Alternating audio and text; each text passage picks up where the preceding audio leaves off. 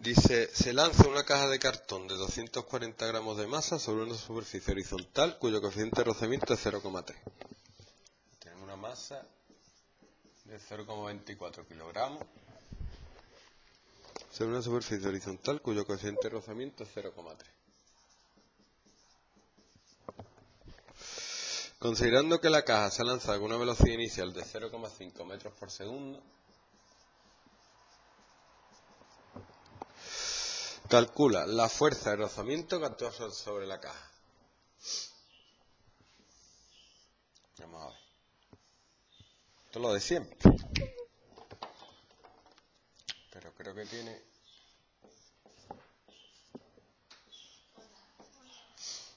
Una cosita. ¿Vale? Tengo N y P.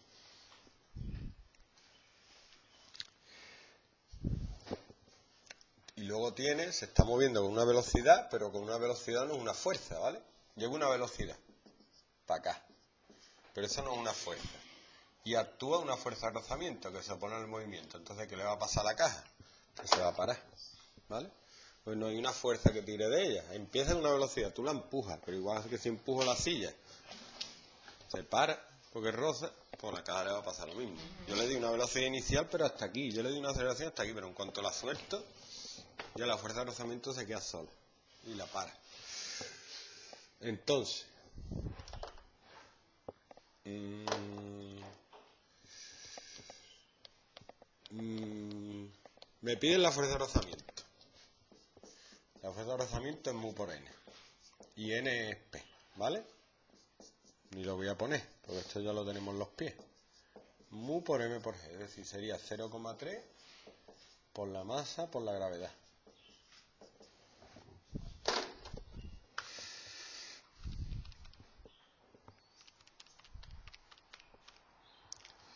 0,7056.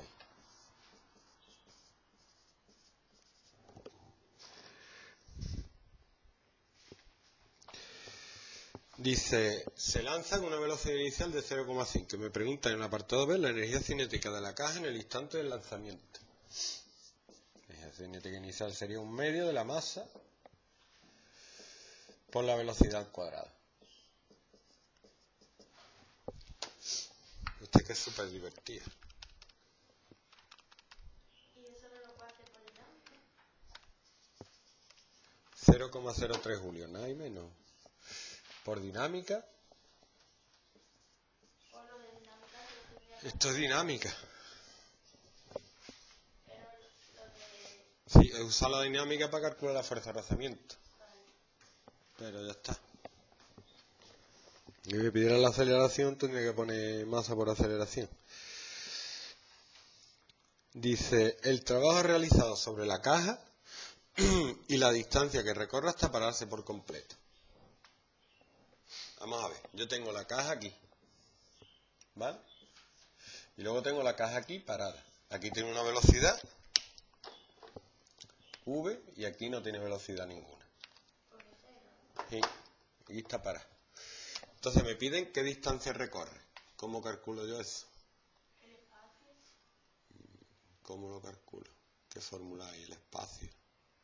Puedo hacerlo de dos maneras. La más fácil es el trabajo de rozamiento en la fuerza de rozamiento por el desplazamiento. Y me ahorro un montón de trabajo. Ahora, ¿cuánto es el trabajo de rozamiento? O sea, ¿qué trabajo hace la fuerza de rozamiento? El trabajo de rozamiento lo que hace es pararla. ¿Vale? Si la para, mm, el trabajo de rozamiento va a ser la energía que tenga al final menos la energía que tenga al principio. ¿Qué energía tiene al final? Cero. Pues está parada.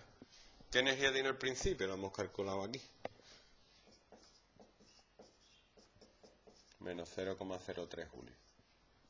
Entonces el trabajo de rozamiento, que es menos 0,03, es igual a fuerza de rozamiento que aquí la he puesto positiva, pero sería negativa porque es contraria al movimiento.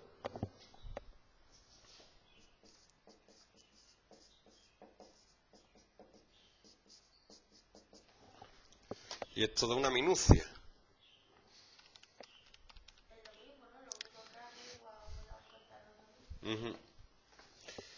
0,0 425 metros. Nada, 4,2 centímetros. Una minucia. Nada, se mueve. Nada.